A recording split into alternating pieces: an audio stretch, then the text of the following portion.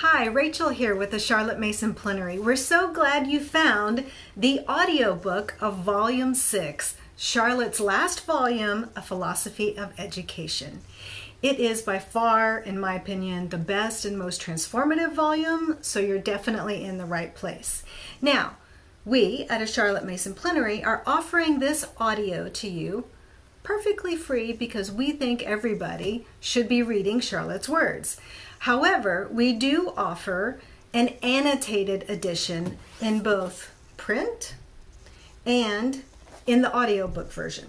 So, the best of both worlds, in my opinion, is the audiobook, whether it has annotations or not, and the annotated editions. Because in the annotated editions, you get all of these wonderful side notes in the margins that explain what Charlotte's talking about, as well as give you definitions and stuff to all that uh, Victorian English. So, best of both worlds, audiobook and annotated edition. Please visit us over at Charlotte Mason Plenary at cmplenary.com, and I hope you enjoy the audiobook. Chapter 3 The Scope of Continuation Schools a hundred years ago, about the close of the Napoleonic Wars, there was such another stirring among the dry bones as we are aware of today. All the world knew then, as now, that war was the outcome of the wrong thinking of ignorance, and that education was the nostrum for minds diseased. Prussia led the way. Not the children, but the young people were the immediate concern of statesmen, and, guided by the philosophy of Fichte and organized under the statesmanship of Stein, that noble league of youth, the Tugendbund, came into being. Prussia was miserably impoverished, but her concern was not with the arts which should make her rich. Her young people looked to philosophic principles for precept and to history for example, and it was well with the land. Not only in Prussia, but throughout Western Europe, there was a more or less active intellectual renaissance, but whether because the times were not ripe or the peoples were not worthy, the high ideals of the early days of the century were superseded by the utilitarian motive. When the continuation school movement revived, envy of the commercial and manufacturing successes of England actuated the new effort, and already in 1829 a Bavarian statesman had announced that if you would have the fruit, you must sow the seed. That is, manufacturing success is to be had only at the cost of technical education. We all know the result in the great Munich schools where first rate organization and admirable teaching have produced an appreciable effect upon German industries. But the best German minds have long been aware that an education which has powerful economic interests behind it is apt to become too narrowly utilitarian in motive, and to lose that ideal element which gives all education its chief power over character. As Mr. Lecky has said concerning morals, the utilitarian theory is profoundly immoral. The occasion brought forth the man. We know how in 1900 Dr. Kerschensteiner chanced to see the announcement of a prize offered for an essay on the best way of training youth. He wrote the essay, was crowned by the Academy of his country, and that essay in pamphlet form has influenced opinion and directed action throughout the West. Professors Dewey and Stanley Hall in the United States, Dr. Armstrong and Sir Philip Magnus at home are among its leading exponents. And what was the note of this new gospel of education? Practically that same note which had proceeded from England, France, Switzerland a century earlier. A utilitarian education should be universal and compulsory. Child and adolescent should be saturated with the spirit of service, provided with the instruments of effective self direction. Behold, utopia at hand, every young person fitted, body and soul, for the uses of society. As for his own uses, what he should be in and for himself, why, what matter? It is not that the eminent educationalists I have referred to would willingly sacrifice the individual youth to society. On the contrary, they would raise him, give him place and power, give him opportunity, place his feet on the rungs of that ladder we used to hear about. But we have all been misled by mistaken views as to the function of education. We have believed that knowledge may be derived from sensation, that what we have seen with our eyes and our hands have handled affords us the nutriment our souls demand. No doubt a boy uses his mind to some purpose when he makes, for example, an ingenious model, and, seeing mind at work, we run away with the notion that food and work are synonymous terms. For the body, they may be so in a certain sense, for work brings pay and pay brings food. But no such indirect transaction is possible to mind. A mind perpetually at heavy work is a sort of intellectual navvy, whose food must be proportioned to his labor. Our great statesmen, Gladstone, Lord Salisbury, and others, knew this, and their wide and deep reading in other matters than politics should not occasion surprise. The war has forced new ideas upon us. We begin, for instance, to realize the avidity of the adult mind for instruction. It was startling to read of 1,500 soldier candidates for 20 vacant places in a certain class. We begin to see that mind, the mind of all sorts and conditions of men, requires its rations, wholesome and regularly served. As things are, we shall have to see to it that everybody gets fed but our hope is that henceforth we shall bring up our young people with self sustaining minds, as well as self sustaining bodies, by a due ordering of the process of education. We hope so to awaken and direct mind hunger that every man's mind will look after itself. What is the proper food of the mind has already been discussed, but we may assume that education should make our boys and girls rich towards God we remember the fool of the parable who failed because he was not rich towards God, rich towards society, and rich towards themselves. I will not press my point by urging the moral bankruptcy which has been exposed to us during recent years as coexistent with, if not caused by, utilitarian education. For the catastrophe has been accelerated by the sort of moral madness of which we too have had our seasons in the past. Witness our Barnaby Rudge and Peveril of the Peak episodes. We have indeed been carried off our feet by a fallacious notion once and again, but our national insanity has on each occasion been short lived because our education hitherto has not taught us to believe a lie. We are not worse than others, and if we think well of ourselves as a nation, why national pride and personal modesty do not go ill together. In peacetime we have bitter things to say of our British working man, but all the same he compares favorably with the somewhat sardonic Latin, the sullen Teuton, whom we all know. And the better man does the better work. We have heard much of German efficiency, and perhaps the German excels in little matters like doors that shut, blinds that draw, springs that act, things of domestic utility important in a country with a more extreme climate than ours. But these are little matters, and perhaps our failing is not to do our best except on big occasions. Give us a big job or a big war, and we show our mettle. But probably in all our considerable industries we excel. German women will purr over the material of our dresses with Ach English Tuch.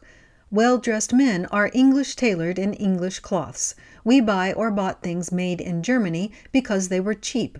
But the most costly and most desired goods in German shops are advertised as English. This is a point to be borne in mind in considering the education of adolescents. We are given to depreciating ourselves and each other but in fact we have no leeway to make up. As both a manufacturing and a commercial nation, we are well in the van and are without inducement to sell the people's birthright for a mess of pottage.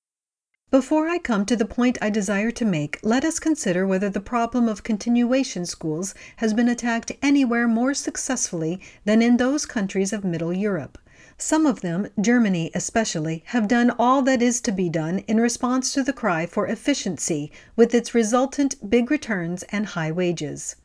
But from the beginning of the continuation school movement in, say, 1806, the four northwestern countries have worked towards different ends. In Denmark, they have not continuation schools, but people's high schools, a pleasanter name for possibly a pleasanter thing.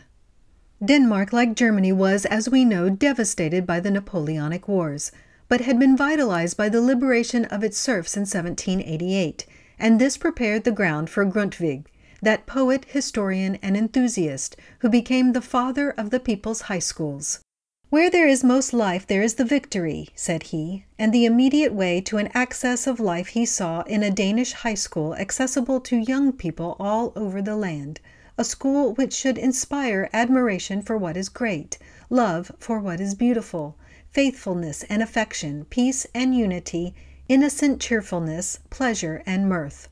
Observe, there is no word of efficiency in this poet's dream, but he did assure Charles VIII that with such a school, a well of healing in the land, he might afford to smile at the newspapers, whether they chose to praise or blame. The king gave heed, begged for a further development of his plans than was afforded in the original pamphlet, and by 1845 the schools he had dreamed of began to be. We cannot follow the development of these Danish people's schools, but in 1903 to 1904 their pupils numbered over 3,000 men and rather more women, and wise men cherish the hope that the new Danish school for youth is to have the good fortune to blend all classes of the people into one. All of these high schools bear the mark of the genius of their father, whose pupils have known how to sum up his teaching in three sayings Spirit is might, Spirit reveals itself in spirit, spirit works only in freedom. We are able to trace the source of these sayings, and indeed this movement seems to have been from the first profoundly Christian Christian in no narrow sense, but sharing the wide liberality of that Allegoria Filosofica della Religione Cattolica, conceived by the angelic doctor and pictured by Simone Memmi on the walls of the Spanish chapel in Santa Maria Novella, Florence. The several teachers commemorated were themselves illustrious pagans, but not therefore the less under divine teaching. Here, it seems to me, is an educational credo worth reviving in these utilitarian days, and some such creed seems to have been Grundtvig's, though probably independently conceived. His great hope is that, above all, some acquaintance with popular literature, especially with the poetry and history of one's own country, will create a brand new world of readers all over the land. I cannot go into the question of the agricultural schools, of which it is said that the Danish agricultural school is the child of the Danish folk high school, and must, like this, have Christian faith and national life for its basis. In the careless days before the war, we could all testify to the excellence of Danish butter. But did we consider the resolution and capacity with which Danish peasants passed over from the making of poor butter in their various small holdings to the manufacture in cooperative dairies of butter of an almost uniform fineness. This, too, says an eminent Swedish professor, is due to the high schools. For, said he, just as the enrichment of the soil gives the best conditions for the seeds sown in it, so a well grounded humanistic training provides the surest basis for business capacity, and not the least so in the case of the coming farmers. These are weighty words deserving our consideration at a moment when we too are on the eve of a new departure. The three neighboring countries watched the experiments in Denmark with keen interest, and almost simultaneously people's high schools sprang up in all four. These northern high schools, necessarily winter schools, were not open at the time of my visit, but two or three things casually observed might, I think, be traced to their influence. For instance, Copenhagen itself, as compared with Munich, strikes one as a city with a soul. At The Hague again I saw an artisan in his working clothes showing pictures in one of the galleries to his boy of seven, who looked earnestly and listened eagerly. The young people in the great Delft porcelain works showed traces of culture and gentleness in countenance and in manner, but nothing struck me more than what I saw in the general shop of an out of the way village in Sweden. The villagers were peasants, and the one shop sold cabbages and herrings, cheese and calico, but across the small paned window was a shelf closely packed with volumes and paper covers which had not had time to get dusty. Of course, I could not read all the titles, but among them were translations from French, German, and English. I noticed slim volumes of Scott, Dickens, Thackeray, Ruskin, Carlyle, and The Last Thing Out. One felt assured that the village was in kingdom come, that of a long winter's evening in any home one read aloud whilst the rest worked, that there was much to talk about when friends met and lovers walked. How sad, by the way, to read that Tommy, whom we all love and revere, is quick to form friendships, but that these do not progress, for the friends have nothing to talk about. Think of the little plays got up, of public readings given by the villagers themselves. Might such things be with us? The lure of the town would cease to draw our village men and maids, for the village that can offer a happy community life sustained by the people themselves is able to hold its people. Our upper and middle classes, professional and other, are singularly stable folk, and they are so not because of their material, but of their intellectual well being. In this sense only, they are most of them the haves as compared to the have nots. The reason is not far to seek. Are there not agitators abroad whose business it is to sow seeds of discontent in the gaping minds of the multitude? The full mind passes on, but that which is empty seizes on any new notion with avidity, and is hardly to be blamed for doing so. A hungry mind takes what it can get, and the baker is apt to be lenient about prosecuting the starving man who steals a loaf. I do not hesitate to say that the constantly recurring misery of our age, labor unrest, is to be laid at the door not of the working man, but of the nation which has not troubled itself to consider the natural hunger of mind and the manner of meat such hunger demands.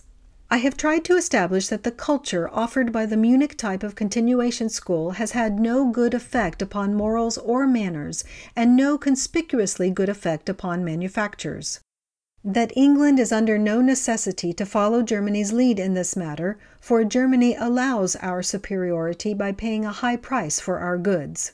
That Denmark and the neighboring states, on the contrary, excel in those things in which we fall short, that the people's high schools of Denmark are worthier of our imitation than the continuation schools of Germany that they are so because character and conduct, intelligence and initiative are the outcome of a humanistic education in which the knowledge of God is put first.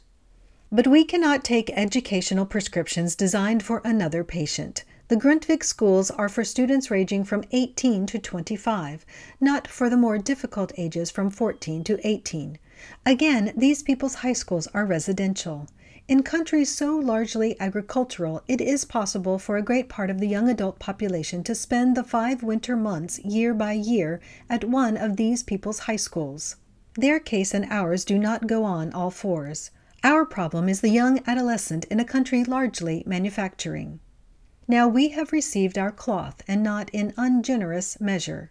How shall we cut our coat? That is, how shall we spend those seven or eight hours a week in which education is to do her part for the young citizen?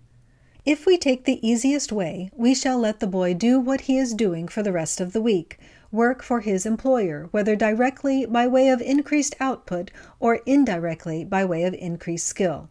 This would be a betrayal. No employer wishes to take with one hand what he gives with the other. Besides, what employer doubts the ability of his staff to train his young employees? Again, the technique of any employment takes but little time to understand. It is the practice that is of value, and such practice is work. Continuation schools should not exist for technical instruction. They are established definitely for the sort of education of which such instruction forms no part. And will not the evening hours be free as they are at present for technical classes, gymnastic clubs, and various forms of recreative exercise? This particular gift of time must be dedicated to things of the mind if we believe that mind too requires its rations, and that to use the mind is by no means the same thing as to feed it with the best will in the world to give boys and girls something on which to chew the cud, real mind stuff for digestion and assimilation, we find that the floodgates are opened. An ocean of things good to know overwhelms us, and we have eight hours a week. We seize on that blessed word compromise and see two possibilities. We are in a hurry to make good citizens. Now, good citizens must have sound opinions about the law, duty, work, wages, what not. So we pour opinions into the young people from the lips of lecturer or teacher, his opinions which they are intended to take as theirs. In the next place, there is so much to be learned that a selection must needs be made. The teacher makes this selection, and the young people are poured into like a bucket, which, says Carlyle, is not exhilarating to any soul. Some ground is covered, teachers and education authorities are satisfied. And if, when the time comes, the young people leave school discontented and uneasy, if their work bore them and their leisure bore them, if their pleasures are mean and meager, and if they become men and women rather eager than otherwise for the excitement of a strike, that is because the continuation as the elementary school will have failed to find them. This is the real educational difficulty in schools for all classes, for pupils of all ages. The enormous field of knowledge which it is necessary to cover in order to live with intelligence and moral insight.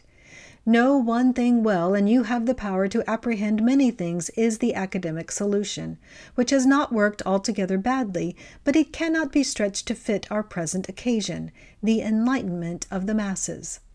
What we may call the academic doctrine assumes that mind, like body, is capable of development in various directions by means of due exercise. Profounder educational thought, however, reveals mind to us as of enormous capacity, self active, present in everyone, and making but one demand its proper pabulum. Feed mind duly, and its activities take care of themselves. As the well fed workman is fit for all his labors, so the duly nourished mind knows, thinks, feels, judges with general righteousness. The good man and magnanimous citizen is he who has been fed with food convenient for him. Such a view of education naturally inclines religion, not only for his God doth instruct him and doth teach him, but because we may take knowledge roughly as of three sorts knowledge of God, to be got first hand through the sacred writings, knowledge of man, to be arrived at through history, poetry, tale, through the customs of cities, nations, civics, through the laws of self government, morals. One other great branch of knowledge remains.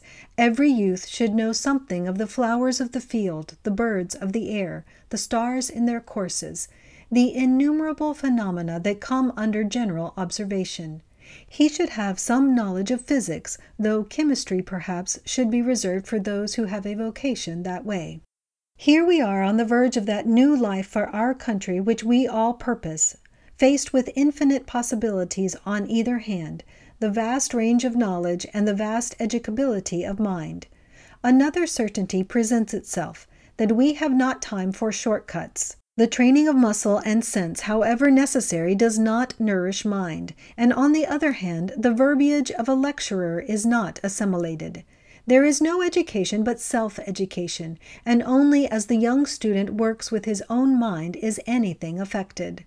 But we are not without hope. An astounding field has been opened to us. Thousands of children in council schools are doing incredible things with freedom and joy. They have taken in hand their own education and are greedy of knowledge for its own sake, knowledge in the three great fields that I have indicated. The fact is that a great discovery has been vouchsafed for us, greater, I think, as concerns education, than any since the invention of the first alphabet let us again refer to Coleridge on the origin of great discoveries. Coleridge gives no qualification to the minds which receive these great ideas. They are not described as great minds, but he says they are previously prepared to receive them, that is, the great ideas. If the reader will forgive me for saying so, I think my mind has been so prepared, by extraordinary incapacity in one direction, the direction roughly of academic attainments, and by some degree of capacity in other directions, and it has been gradually borne in upon me that this incapacity and this capacity are pretty general, and perhaps afford a key to the problem of education. A further preparation came to me in unusual opportunities for testing and understanding the minds of children and young people. I am anxious to bring this idea of a discovery before the reader because our methods are so simple and obvious that people are inclined to take them up at random and say that extensive reading is a good idea which we have all tried more or less, and that free narration is a good plan in which there is nothing new. It is true that we all read and that narration is as natural as breathing, its value depending solely upon what is narrated. What we have perhaps failed to discover hitherto is the immense hunger for knowledge or curiosity existing in everyone, and the immeasurable power of attention with which everyone is endowed. That everyone likes knowledge best in literary form, that the knowledge should be exceedingly various concerning many things on which the mind of man reflects, but that knowledge is acquired only by what we may call the act of knowing, which is both encouraged and tested by narration, and which further requires the later test and record afforded by examination. This is nothing new, you will say, and possibly no natural law in action appears extraordinarily new. We take flying already as a matter of course, but though there is nothing surprising in the action of natural laws, the results are exceedingly surprising, and to that test we willingly submit these methods. All is not for all was the sad conclusion of that Danish patriot and prophet. No doubt Grundtvig thought of the impassable barriers presented by a poor and mean vocabulary and a field of thought without literary background. So all is not for all, he said, even as a prophet of our own proclaims that a worthy education is only for the elite. Books are not for the people, was Grundtvig's conclusion. Wherefore those young Danes were lectured to by men of enthusiasm who had their country's literature and history at their fingers' ends, and could convey the temper of their own minds.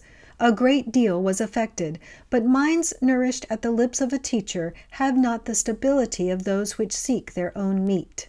But what if all were for all, if the great hope of Comenius, all knowledge for all men, were in process of taking shape? This is what we have established in many thousands of cases, even in those of dull and backward children, that any person can understand any book of the right caliber, a question to be determined mainly by the age of the young reader.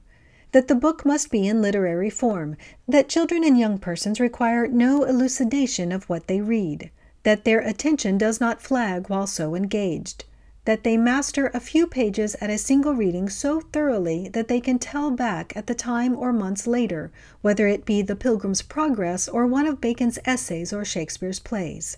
That they throw individuality into this telling back so that no two tell quite the same tale that they learn incidentally to write and speak with vigor and style, and usually to spell well. Now, this art of telling back is education and is very enriching. We all practice it. We go over in our minds the points of a conversation, a lecture, a sermon, an article, and we are so made that only those ideas and arguments which we go over are we able to retain. Desultory reading or hearing is entertaining and refreshing, but is only educative here and there as our attention is strongly arrested. Further, we not only retain but realize, understand what we thus go over. Each incident stands out, every phrase acquires new force, each link in the argument is riveted. In fact, we have performed the act of knowing, and that which we have read or heard becomes a part of ourselves it is assimilated after the due rejection of waste matter. Like those famous men of old, we have found out knowledge meet for the people, and to our surprise, it is the best knowledge conveyed in the best form that they demand.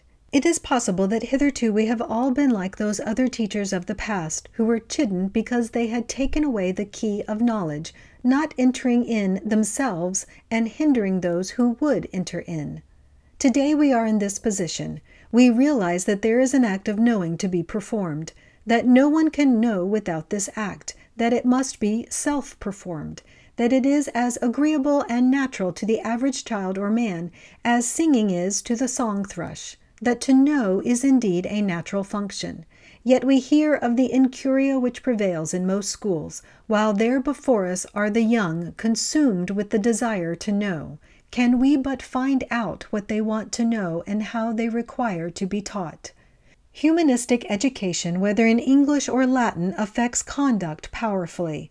Knowledge of this sort is very welcome to children and young persons. A good deal of ground may be covered because a single reading of a passage suffices. This sort of humanistic work has been tried with good effect, and if our continuation schools are to be of value, they must afford an education on some such lines. The Parents' Union School, originally organized for the benefit of children educated at home, is worked by means of programs followed by examination papers sent out term by term. When the same work, if not the whole of it, was taken up by council schools, the advantage of such an organization was apparent, especially in that it afforded a common curriculum for children of all classes. By using this curriculum, we were enabled to see that the slum child in a poor school compares quite favorably with the child of clever or opulent parents who had given heed to his education. Now, one of our national difficulties is the fact that we have no common basis of thought or ground for reflection. No doubt by pretty copious reading, links of common interest might be established, and the schoolroom might do at least as much for the general life as does the cricket pitch. The scheme works practically without a hitch in council schools. This is the sort of work that the highest class in these schools in Standard 7 are doing with great success and very great delight. They read English, French, and General History, three or four volumes two or three books dealing with citizenship and morals from various points of view. Literature contemporary with the history read, several works. Natural history, physical geography, and science, three or four books. Scripture, chiefly the Bible. Every term brings a new program of work, the continuation usually of books already in reading. Children in secondary schools and in families remain for one year in Form 5, and that work seems adapted to the status of continuation schools for the first year or two. After that, the more advanced program, Forms 5 and 6, might be used in the same way. This work would appeal to young people as being unlike the ordinary school grind, and as giving them opportunity for consecutive speaking and essay writing. There is probably no better test of a liberal education than the number of names a person is able to use accurately and familiarly as occasion requires. We all recollect a character of Miss Austen's who had no opinion to offer as to whether the Bermudas should be described as the West Indies or not, because she had never called them anything in her life. Now, here is an alphabetical, uncorrected list taken from the examination papers of a girl of 13, containing 213 proper names, all of them used accurately, easily, and with interest. Amaziah, Ariel, Ayrshire, Arcot, America, Austrian Army, Artemidorus, Antium, Aufidius, Auditors, Apotheosis, Altai Mountains, Assuan, Africa, Atbara, Annulosa, Arachnoida, Armadillo, Albumen, Abdomen, Oracles, Angle, Arc. Burns, Robert, Bastille, Bombay, Bengal, Burke, Black Hole of Calcutta, British Museum, Benevolence, Basalt, Butterfly, Beetles, Blood Vessels, Berber, Blue Nile, Baghdad, Burne Jones. Cowper, Calcutta, Clive, Canada, Colonel Luttrell, Cleopatra, Candace, Coriolanus, cassowary, cormorants, curlews, cranes, calyptra, cotton grass, chalk, conglomerate crustacea, chiroptera, carnivora, chyle, center of circle, China proper, Canton, Cairo, Cheops, Circe. Dick Primrose, Deserted Village, Dupleix, Demotic Characters, Ducks, Despotic Government, Dr. Livingstone, Deposits, Delta, Diaphragm, Duodenum. England, East India Company, Economical Reform, Europe, Emperor of Austria, Empress of Russia, Emu, Eastern Turkestan, Egypt. France, Frederick the Great, Frederick William of Prussia, Flightless Birds, First Cataract, Foraminifera, Gadarenes, Gizeh, Great Commoner, George III, General Warrants, Governor General, Grace and Free Will, Greek Language, Generosity, Gulls, Granite, Grubs, Gastric Juice, Globules. Huldah, Highlands of Scotland, Herodotus, Hieroglyphics, Herons, Huang Ho, Hedgehog, Hydrochloric Acid, Hydrocarbons, Heart. Isaiah, India, Influence of Light. Josiah, Judah, Jehoshaphat, Jerusalem, Jonas, Jonah, Jesuits, Jansenists, Japan, Kainersdorf, Kunlun Mountains, Kyoto, Karnak, Khartoum, Kolchang, Kalahari, Lord North, Lords in Waiting of Love, Land Birds, Lamela, Luxor, Lake Ngami, Loanda, Lake Nyassa, Manasseh, Mongolia, Manchuria, Madras, Marathas, Member of Parliament, Middlesex, Methodist, Mississippi Company, Maria Theresa, Mummies, Microscopic Shells, Membrane, Nagasaki, Nile, Nitrogenous Food, Olivia Primrose, Ostriches, Pharisees, Primrose Misses, Philosophers, Plassey, Pitt, Prime Minister, Pragmatic Sanction, Prague, Peace of Hubertusburg, Pity, Puffins, Penguins, Plovers, Pelicans, Plants, Polytrichum formosum, Peristome, Porphyric, Pudding stone, Pepsin, Peptone, Pancreas, Pulmonary Artery, Pamir Plateau, Prairies, Pyramid, Portuguese West Africa, Quilomane, Rome, Rossbach, Rosetta Stone, Rhea, Rodentia, Sea of Galilee, Sophia Primrose, Suraja Dowla, Seven Years' War, Silesia, Saxony, Secretary, Storks, Sandpipers, Seedlings. The Task, Treaty of Dresden, Toulouse, Trade Unions, Trustees, Treasurer, Tropical Countries. Ulysses, Ungulata, Volcanic Eruptions, Vermes, Vertebrate, Villi, Ventricles, Vena Cava, Vicar of Wakefield, Volscians, Vice President. Wallace, Walpole, War of Independence, Wilkes, Whitefield, Wesley, War of the Austrian Succession, Waterbirds, Wadi Halfa, Yang Sek Kyong, Zonga, Zambezi, Zorndorf. This is secondary work, but supposing the young people of a continuation school who could not read all the books on the programs got some degree of intimacy, some association with, say, 100 such names in a term, we might believe that they were receiving a liberal education. This is the sort of work we hope to see done in continuation schools by pupils from 14 to 16. The young people of the future between 16 and 18 should be prepared to work in Forms 5 and 6. It is not the best children that answer the examination questions. The general rule is that everybody takes every question. I have touched only on the more humanistic subjects, as whatever is done in mathematics, for instance, the head of the continuation school will no doubt arrange. And indeed, so much has been done in the elementary school already that probably the keeping of fictitious account books will be a sufficient exercise for young people who show some mathematical talent.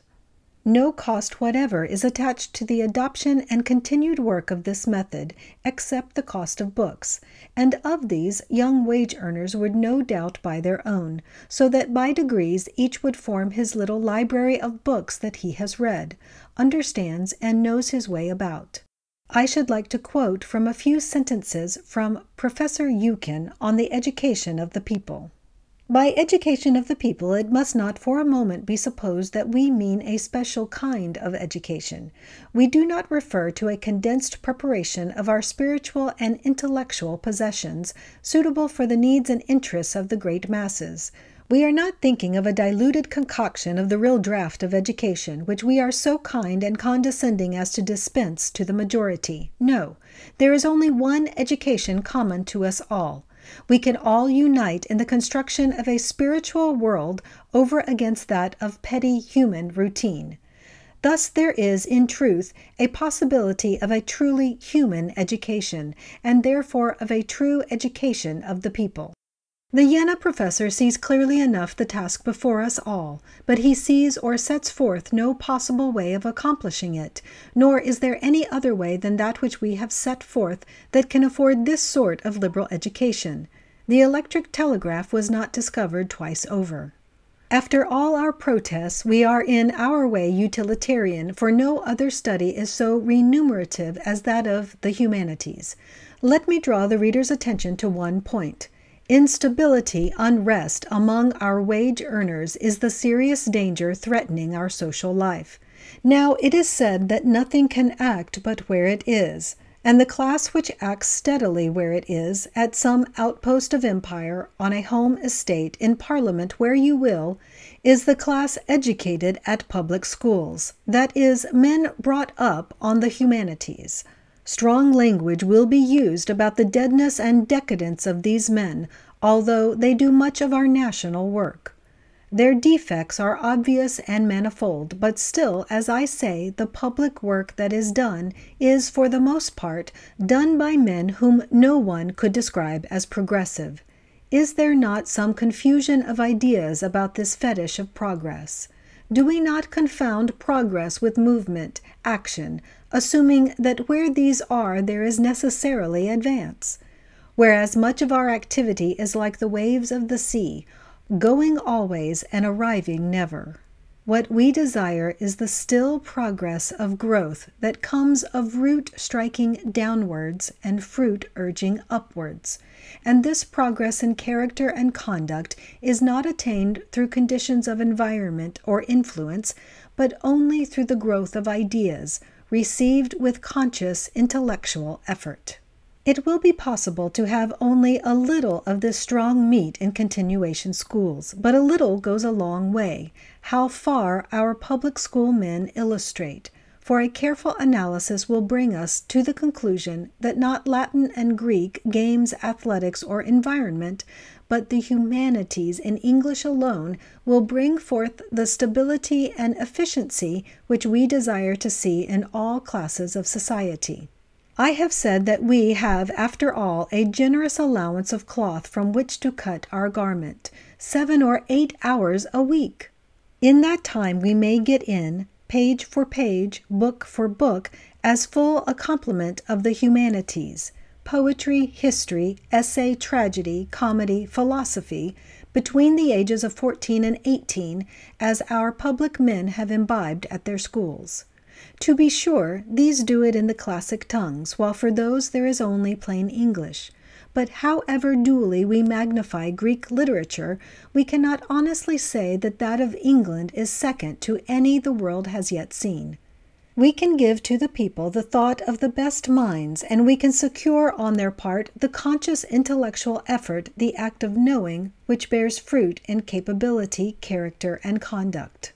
We cannot offer to the people the grace of scholarship in the allotted time, but no doubt earnest souls will find a way to get this surpassing excellence also. If there be profit in grinding at grammar, that they must forego too, but the inspiration and delight of entering into an intellectual world full of associations, this they should have, a well of healing and fountain of delight. Now, a common ground of thought is inestimable in what may be called its cohesive value, and what we desire to afford to the nation at large is such another background of thought, sketched in like that of the public schoolman, from the books men and women have read at school, books which made them intimate with Pitt and Fox, Dick Swiveller, Mrs. Quickly, with daffodils and clouds and nightingales as the poets have seen them with a thousand promiscuous and seemingly purposeless scenes and sayings which somehow combine to serve the purpose of a background throwing the thoughts and incidents of today into clear relief. For this reason, we, like the public schools, all read the same books, with such an intensive single reading that for the rest of the lives of these young people, phrases or allusions they come across will kindle in their eyes that light which never was on sea or land we may hope that public schools will presently add this modicum of English to their classical studies. Then the candidate for election will have something to appeal to other than the desire to better himself, which is supposed to dominate every man. By the way, is the paucity of literary or historical allusions, not in Latin, to be heard in the House due to the fact that the audience cannot be counted upon to rise to a reference not included in the well known school books?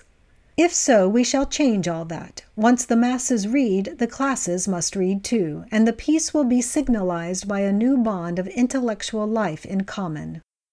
There is no more dreadful sight, says Goethe, than ignorance in action. And is not this the sight that is at the present time dismaying us all? Demos is king today, and who may dispute his right? But let us all give him the chance to become that philosopher king who, according to an ancient dream, was to be the fit ruler or rulers of the people. The hopeful sign is that Demos himself perceives his lack and clamors for the humanistic education in which he sees his salvation.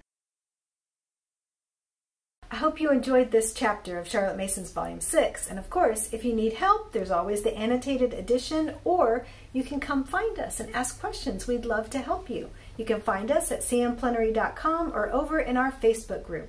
Look forward to chatting with you.